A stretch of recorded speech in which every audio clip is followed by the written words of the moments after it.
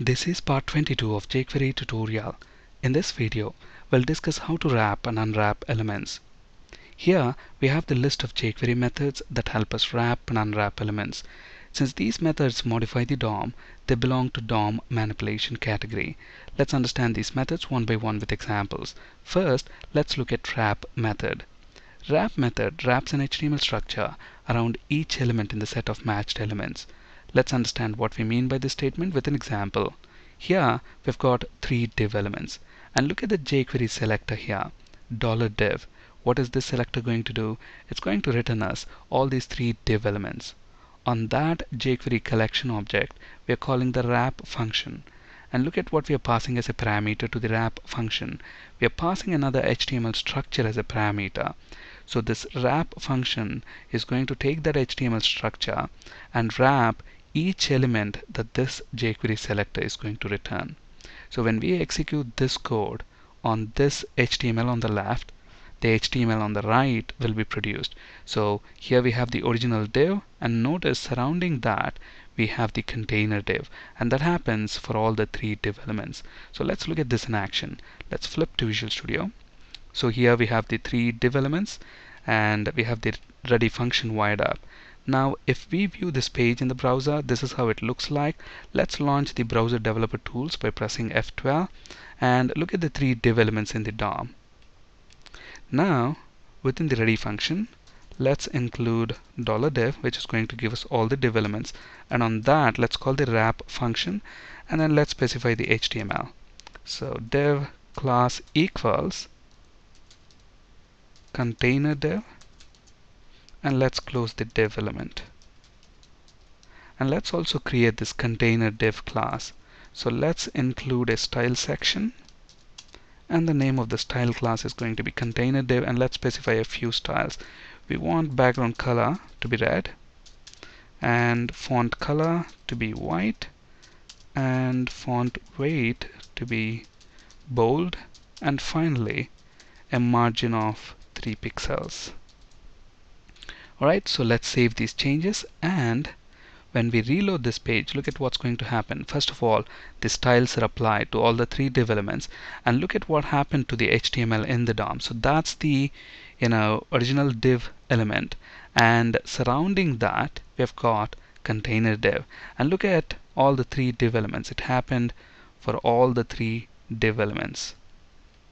So that's what the wrap method does. It's going to wrap the specified HTML around each element that this selector is going to return. Now let's look at the unwrap method. What is this function going to do? It's going to remove the parents of the set of matched elements from the DOM. So let's understand that with an example. So if you look at the HTML that we have in the DOM at the moment, so that's the inner div and the parent for that div is this div, container div okay? So now if we call unwrap on the set of div elements what is this going to do? Now what does the unwrap method do? It removes the parents of the set of matched elements. So what is the parent of the of this div element this container div?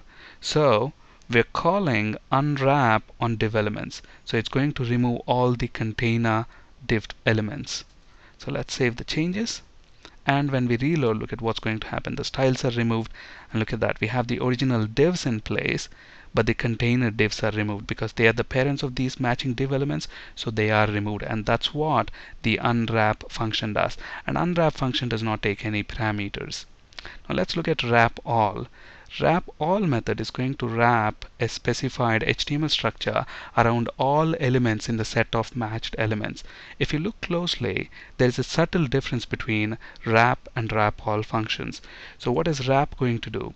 Wrap is going to wrap the specified HTML around each element, whereas wrap all is going to wrap the specified HTML around all elements. So here, look at the example we're calling wrap all on the set of same div elements. So this specified HTML will now be surrounding all these three div elements. So we have all the three div elements and surrounding them we have our container div. So let's look at that in action. So instead of wrap, let's use wrap all. and when we reload this page look at that so we have the original three div elements and surrounding that we have our container div so that's what wrap all does now let's look at wrap inner this method is going to wrap an HTML structure around the content of each element in the set of matched elements. So if you look at these div elements, the content is div1, div2, div3. And look at what we are doing here. We are calling wrap inner on the set of div elements, and this is the HTML structure.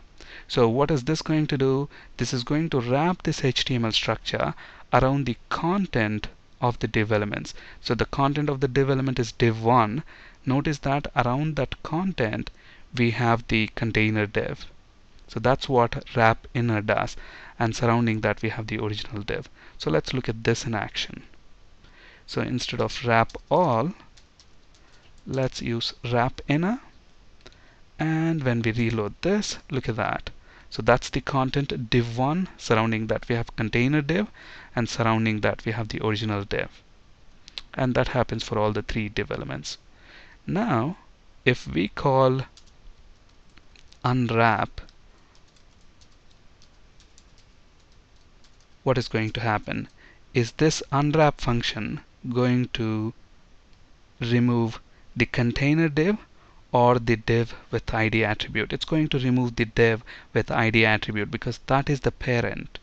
Okay, so when we reload this page, look at that you know the div elements with id attributes are gone and we are only left with container divs thank you for listening and have a great day